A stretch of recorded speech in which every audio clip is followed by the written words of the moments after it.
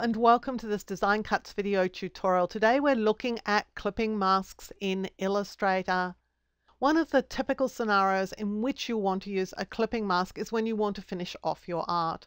So assuming that this is the edge of an artboard and if this was my art, the neat and tidy part of me wants to get rid of all the excess outside the artboard. And the even neater and tidier part of me says, I want to get rid of these bits permanently. I don't want them to be there, so I want to cut them away and just be left with these exact shapes. Well, the temptation to use the crop tool to do this is one that's going to be destined for disaster, so let's see why. I've got my rectangular or square shape here that I want to crop to and all the other objects are directly underneath it. So I'm going to select over all of them and use the crop tool to crop these pieces away. The crop tool is in the Pathfinder palette. You can of course get to that also by choosing window and then Pathfinder. When I click crop, let's see what happens. Well, disaster has struck in so many ways it's hard to count. Firstly, we've lost the line in the middle of the illustration, and we've certainly lost the line that went over the edge of the illustration. But in addition, these shapes had effects on them, and because the shapes have now been reduced in size, the effects are showing within the area that I was calling my artboard, when in actual fact, I want this effect to be on the outside so I'm not actually seeing it in the artboard area.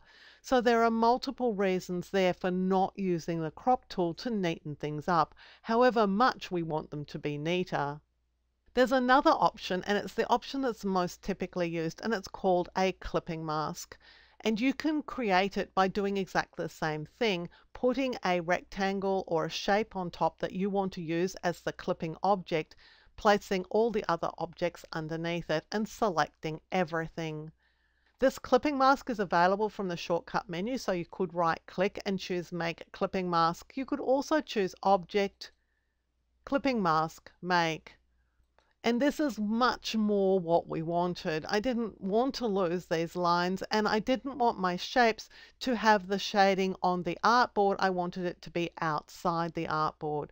So although these objects haven't actually been cut, they're now not visible and so everything looks neat and tidy.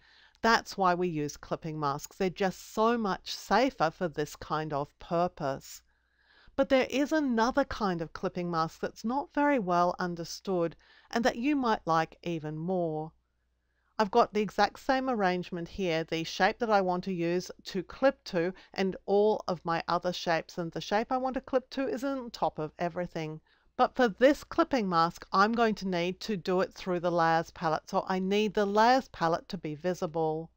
If you don't see the layers palette, you can get to it by choosing window and then layers.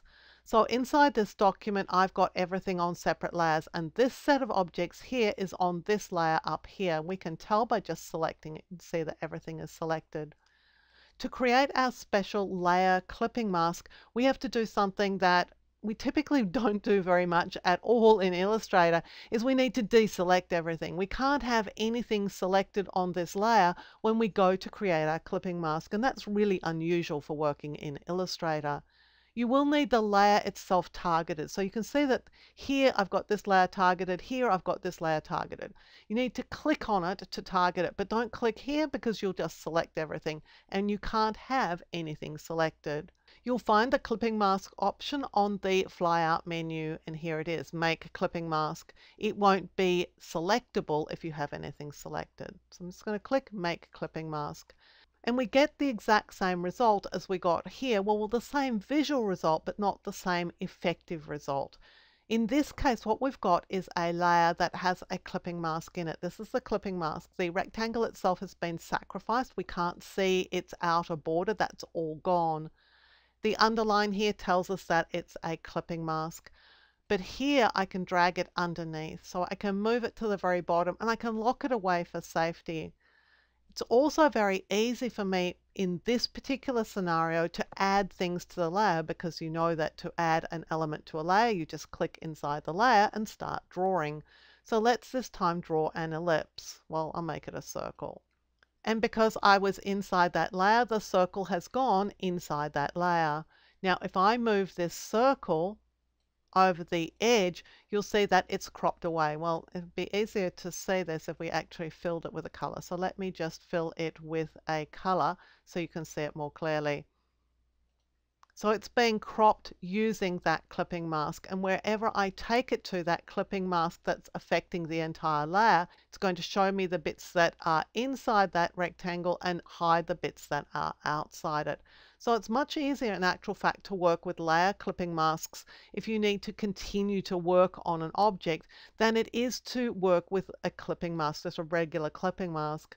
The reason for this is that the clipping mask itself creates a clipping group. So this one here has a clipping group and inside that are the bits that go to make up the clipping mask, the objects that are clipped and the shape that's doing the clipping work. So it's a little bit more difficult to add things inside this clipping group than it is to add things inside the clipping mask. That's why when I'm cropping elements to an artboard and when I perhaps want to continue working on things, I'll prefer to use a layer clipping mask than a regular clipping mask. The layer clipping mask, like the regular clipping mask, can be turned on and off. So you can go and see what your original artwork looked like and continue to add to it and turn it back on when you're ready. Now this clipping mask works exactly the same way. If I turn its visibility off, then we can go back to working on these shapes. It's still inside the clipping group, turn it back on again, and everything goes back to normal.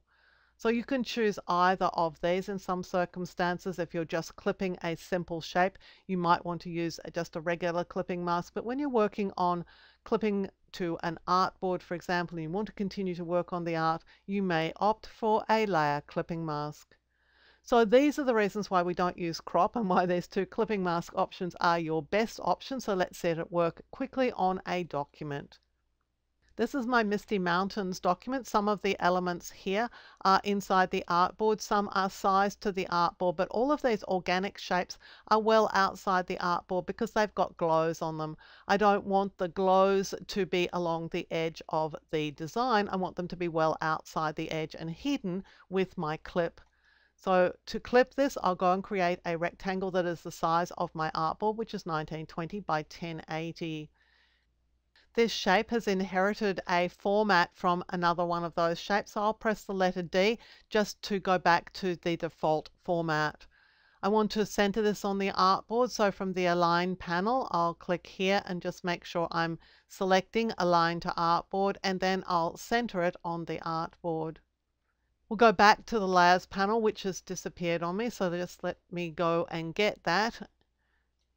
I'm going to make sure that nothing is selected because I'm going to make a layer clipping mask. I'll just target the layer here, click the flyout menu and choose make clipping mask.